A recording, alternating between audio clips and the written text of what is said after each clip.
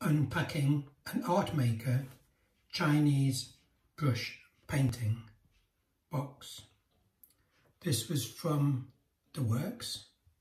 It says huge saving was 19.99, reduced to £8 and it's on sale for £4. So I thought that was a, a good bargain to start off for a, a, um, a new hobby of mine for Chinese painting.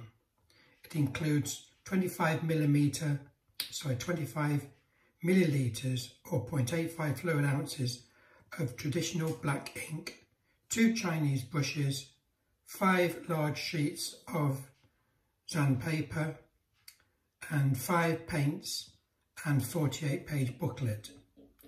All well and good. After open it, opening, the, the book, 48 page book, is really good and very um, easy to read, easy to use, uh, excellent simple drawings and how to start Chinese style painting. Very pleased with that. But then I decided to look inside. The Chinese, but the papers and paper um, is ideal for starting, um, but it needs the watercolours need to be quite dry. If you try to use it too watery, it will soak into the paper. It is a kind of rice paper. Then comes to the interesting. The black ink, which is sounds full, sounds like eight fluid ounces, um, um, which is, um, did it say eight fluid ounces?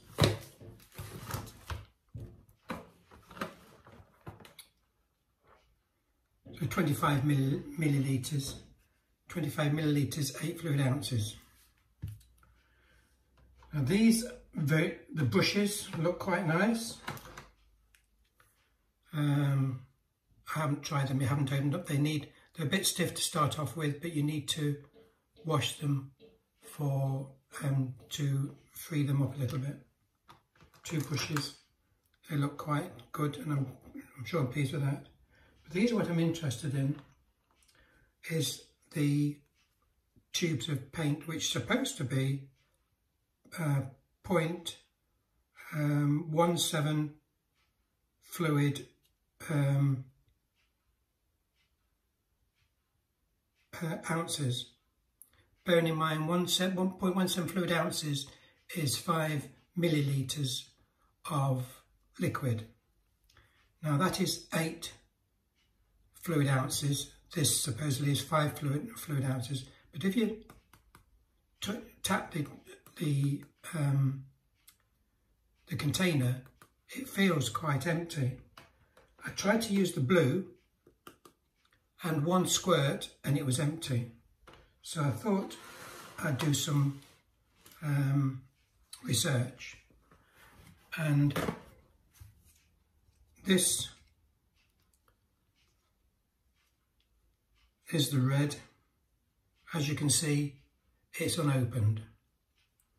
Tap it, seems empty. So what I'm going to do is I'm going to cut it, cut it in half and see actually what's inside. Because I don't believe there's uh, five fluid ounces inside here. So, um, sealed container, I will cut it in half. Oh, I tell a lie, it's full. I take back everything I said, I think. Okay, there may be a bit more in it than I thought.